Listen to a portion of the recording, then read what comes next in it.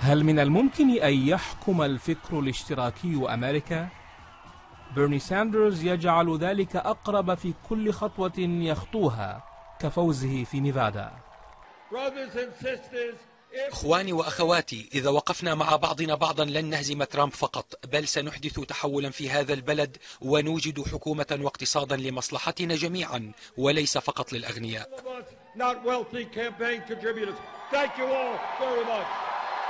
هذه هي الأفكار التي ألهبت مشاعر الشباب الذين شكلوا قاعدته الانتخابية الأساسية ولكنه عزز ذلك بتحقيقه تقدما بين شريحتين مهمتين قويتين في نيفادا الأمريكيون من أصول اللاتينية وأعضاء النقابات العمالية. مرشح آخر يتناقض فكريا مع بيرني بدا مرتاحا أيضا.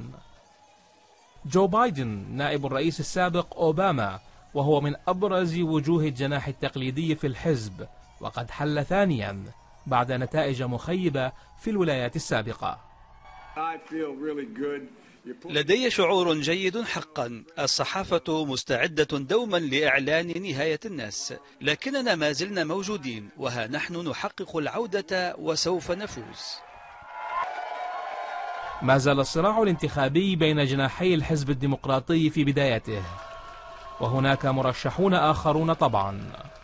في واشنطن استقبل ترامب الأخبار بسخرية وعلق عليها على تويتر مهنئا بيرني ساندرز ومحاولا استغلال الاختلاف بين الديمقراطيين. يخشى كثير من الديمقراطيين من أن يكون ترامب على حق وبأن فوز بيرني بترشيح الحزب الديمقراطي لن يمكنه في النهاية من الفوز بالرئاسة لأن شرائح في المجتمع لن تؤيد رسالته التقدمية.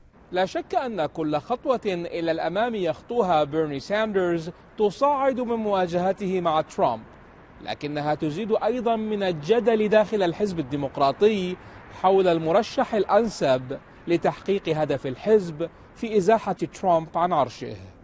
رافد جبوري العربي واشنطن